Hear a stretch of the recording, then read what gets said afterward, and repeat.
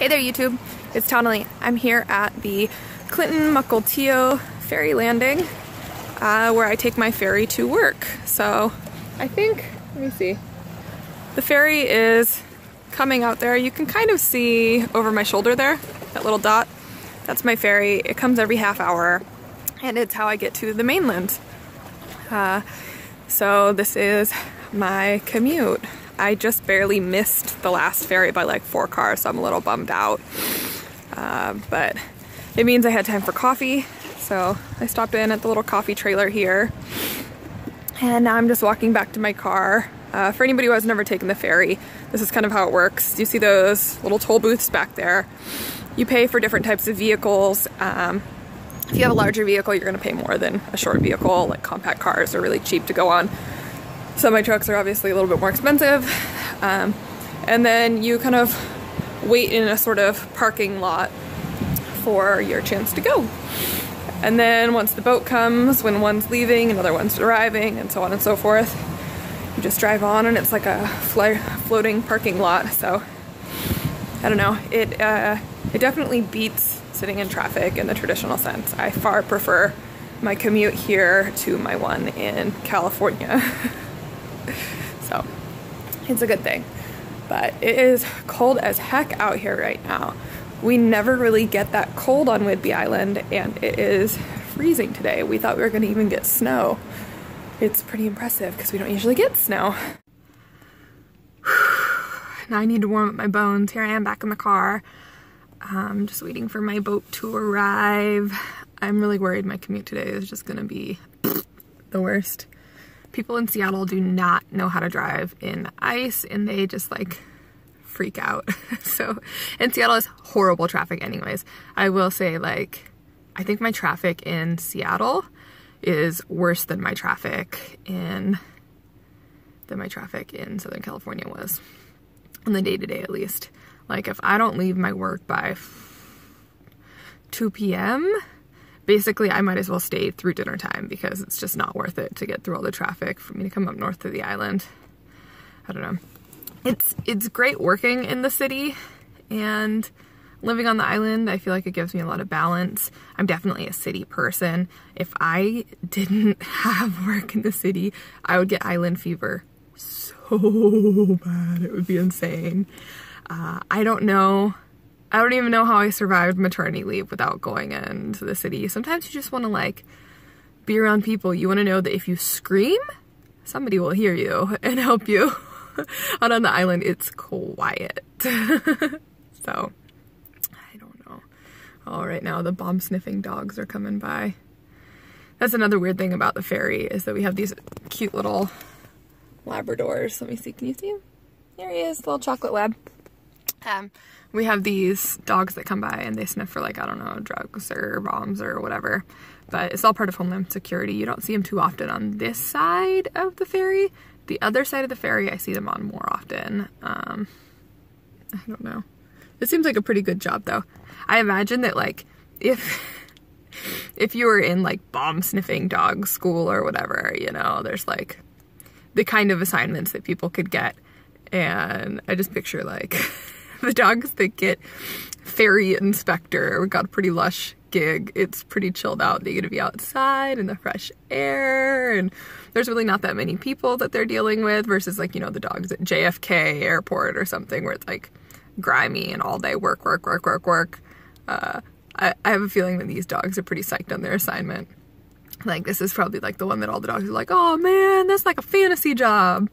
I don't know if that's just me like uh personifying a situation kind of like how like it is in the military where there's like those like fantasy assignments that people can get where you can get sent to amazing places on amazing squadrons or or whatever amazing assignments um and nobody nobody ever gets to do it. It's just like a myth you know? I feel like maybe to to go to bomb sniffing dog school and to come out being a ferry sniffer is probably like a fantasy assignment here I am on the ferry now. Uh, usually during this time, what I do, I figure why not? I'll just take you guys along on my regular commute because I don't have much else going on and it's Vlogmas and I really want to make as many videos as I can during this. Uh, though I, this year I'm definitely not doing every single day.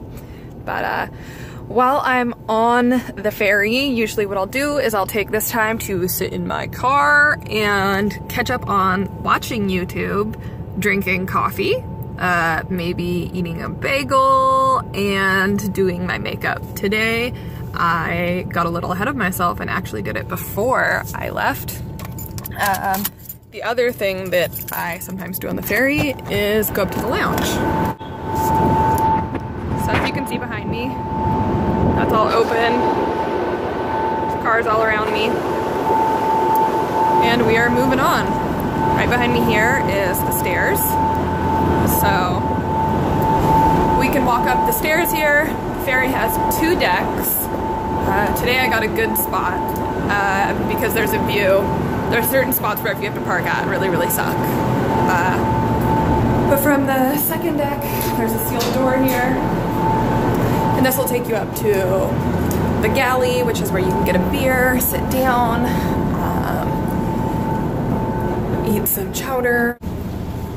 You can see there's the other ferry behind me. It's on its way to the dock to go and pick up other people and drop people off.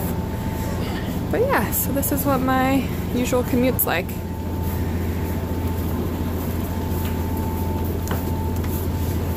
We've also got the outdoor viewing decks out here, which you can take. I don't usually go on these outdoor decks. On this ferry, I do on my Coupeville one. There's nice wooden benches and kind of covered areas here. Uh, some people who ride the ferry, it's like, uh, have you ever been to the mall before have you ever been to the mall before it opens and there's like the mall walkers? There's people who go walking in the mall instead of exercising. the ferry can be like that. there's a lot of people who go walking on the ferry before uh, before they get their day started and they'll pack sneakers and stuff so they get their exercise. It is such a beautiful day.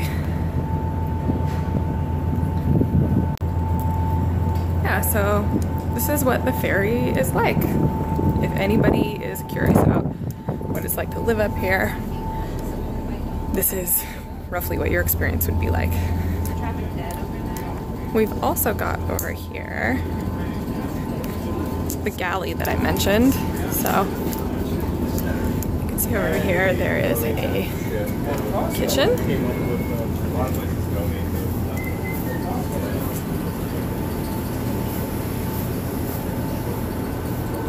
and you can get beer and all that kind of good stuff there. We also have signs telling you to follow Washington State Ferries on Twitter. Thank you. The other thing that's cool about the ferries, people are very polite. Um, I've literally like gone to get something from the vending machine before and people just walk up and they'll be like, hey, you want me to buy you a soda? And people just like hang out and sit down and chill out. Um, a lot of people have like friends just on the ferry, people who they see during their ferry commute year after year, day after day. It's kind of fun. It's like a different way of going to work every day.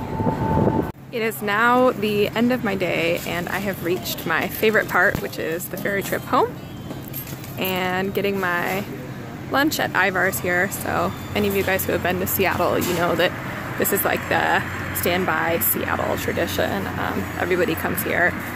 And when we're waiting for our boat, if we miss the boat, we get ice cream cones, fish and chips, whatever. Um, and it's delicious and fresh and fast.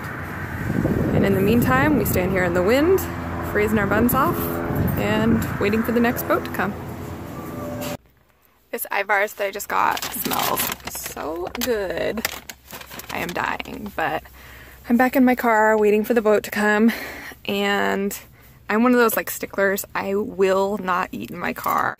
You can always tell if somebody eats in their car a lot because it just smells like old fast food funk.